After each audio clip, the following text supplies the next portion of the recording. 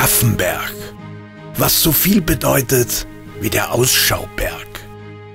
Schon 1173 nach Christus, damals wurde die Burg erstmals urkundlich erwähnt, wussten die Menschen den weiten Blick von hier aus über das Mürztal zu schätzen.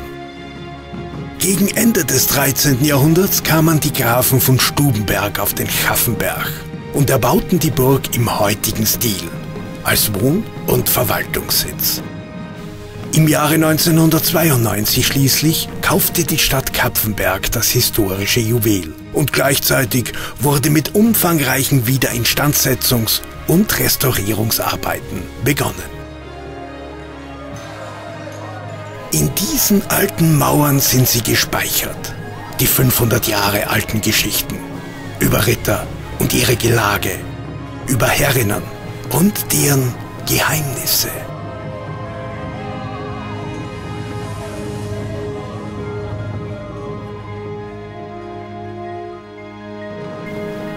Heute lädt die Burg zu Festlichkeiten und Veranstaltungen ein. Faszinierende Ausstellungen entführen in längst vergangene Zeiten und viele modernst adaptierte Räumlichkeiten stehen für geschäftliche und private Treffen zur Verfügung.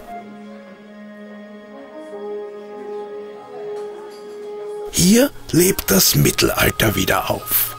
Und von der kleinen Prinzessin bis hin zum großen Armbrustschützen weht der Hauch der alten Geschichte.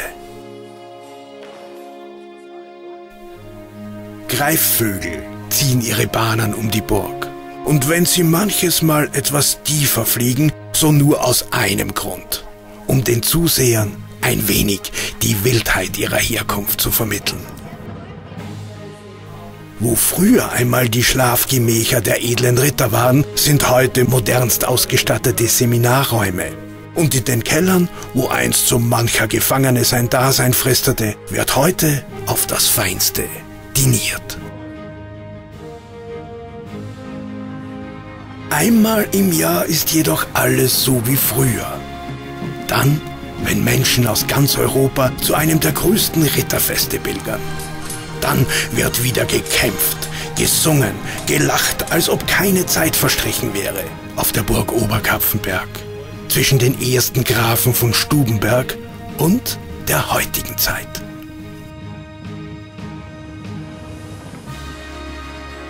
Was sich über die Jahrhunderte hinweg hier zugetragen hat, ist keinesfalls vergessen. Ganz im Gegenteil. Diese Geschichte bildet den Rahmen und das Flair für ein modernes Zentrum, für Kultur, Tradition und hochwertiger Gastronomie. Geschichte erleben, mehr erleben. Die Burg Oberkapfenberg.